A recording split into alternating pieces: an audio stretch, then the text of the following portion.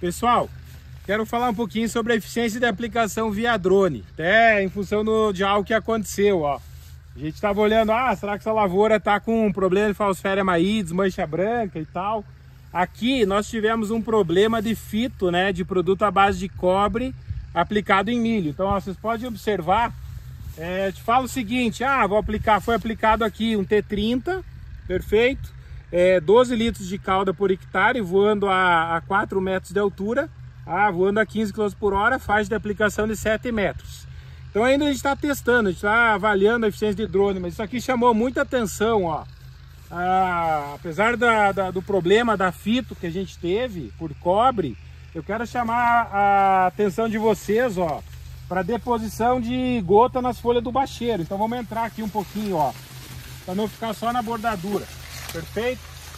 Olha só, a gente tem uma deposição de gota é, muito boa nas plantas, tá?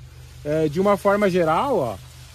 Ah, então aqui o produto chegando, até na folha abaixo da, da bandeira a gente tem folha, né, é, produto chegando. Claro que é bordadura, mas ó, vocês observarem aqui, ó, uma fito severa, tá? É, e aí eu acho que essa questão, né? É, se a gente fizer um autopropelido aqui, provavelmente vai ter muita quebra de pendão, não vai ser efetivo. Então a gente entende que o drone, de fato, gente, ah, 10 litros por hectare eu tô trabalhando com 1 ml por metro quadrado de produto, parece tão pouco, né? Mas quando a gente ah, colocar papel hidrossolúvel seria uma ferramenta, mas como aqui deu essa fito, é, fica muito perceptível né, a eficiência da tecnologia de aplicação. É, não vamos. Ah, daria até para entrar no ensejo aí, ah, a viabilidade talvez é, de uma terceira aplicação, né? Tomar a decisão ela é, ela é difícil, né? Vai custar 6, 7 sacas de, de milho por hectare uma aplicação. É, eu digo sempre o seguinte: bom, qual o híbrido que você está trabalhando? É, de uma forma geral, quanto mais precoce o material, maior a sensibilidade. Como é que está a curva de progressão de doença? O que, que como é que foi a efetividade do controle até então, né? A gente pega o seguinte, um milho em R2, perfeito, grão bolha. É, começo de enchimento de grão até R6, é, estamos falando em 40 dias de ciclo. É, esse milho aqui, nossa perspectiva é, é colher 200 sacas por hectare.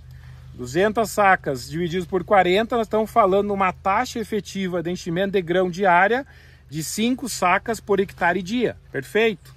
Então, se eu não tiver sanidade foliar, nutrição foliar, sanidade foliar, e eu começar a comprometer esse tecido, é, tem um potencial de perda produtiva significativa, né? Perder a área foliar não faz fotossíntese, mesmo que a gente tenha remobilização, é, o potencial de perda é muito grande. Por isso que a gente entende que dependendo do, do nível de investimento, da expectativa de produção, uma terceira aplicação ela, ela pode ser é, interessante dependendo do contexto que você está. Né? Tomar a decisão, como eu falei, passa por esses argumentos.